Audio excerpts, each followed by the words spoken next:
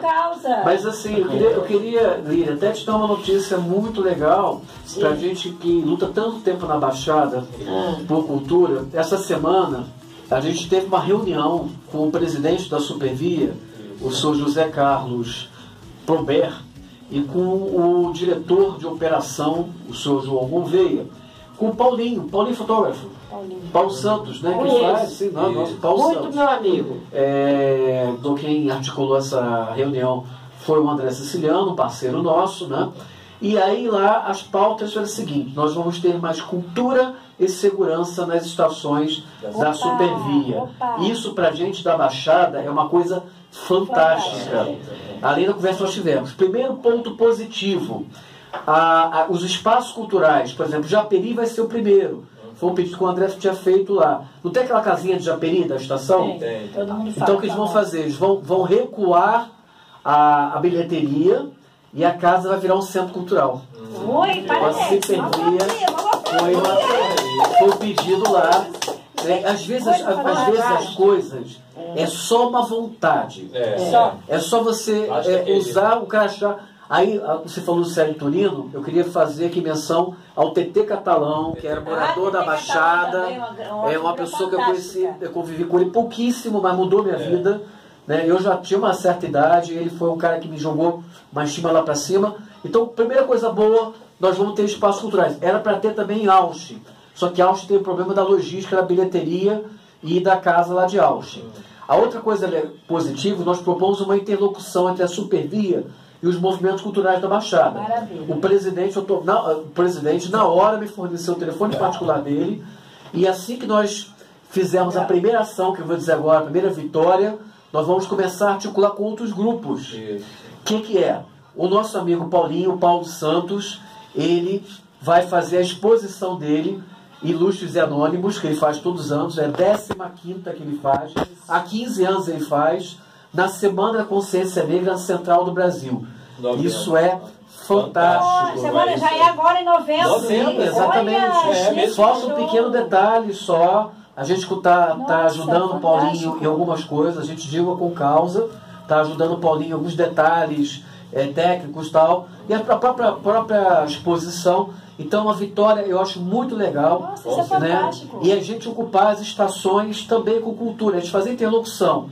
Aí, paralelo a isso, veio uma outra questão que foi a solicitação do aumento de policiais do batalhão ferroviário, porque é necessário. Por exemplo, a vocalista da- do, do- do grupo Gente, que é uma grande amiga nossa, a Iori, ela foi assaltada dentro do, ônibus- do, do trem, né?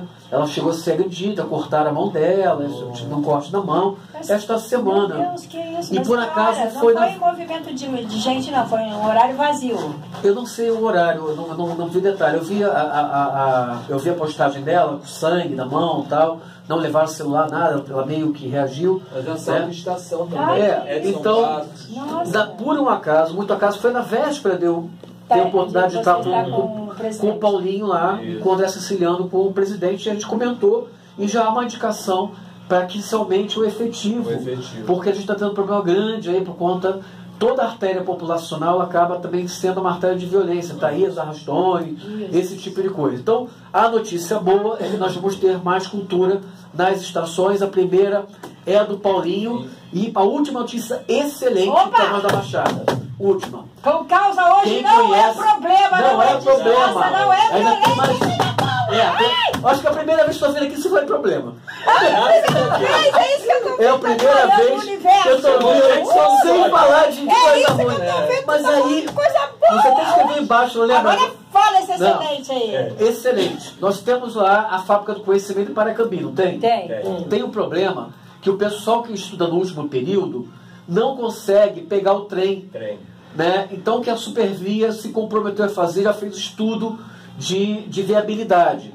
Eles vão estender para as 22 horas o trem saindo de Paracambi, Paracambi. e das 20 e 20 ou 20 e 30, aí desse detalhe, gente, eu não sei. Eu só sei que vai dar tempo das pessoas saírem da, da fábrica, irem até a estação, fora os trabalhadores do comércio. Isso, Isso, também. isso é Então, muito aí bacana. a, a, a, a diretora da FAITEC, que acabou não participando, ela tem uma perspectiva de ter mais 600 alunos por conta disso, porque os alunos vão poder ter tempo Claro. de É. pegar o trem, que é a principal via, pegar, chegar até Japeri e Japeri pegar o Pegar trem o trem para o resto do, do Rio de Janeiro. É. Então é uma vitória fantástica, a gente espera que a Supervia implemente. Isso é de uma reunião.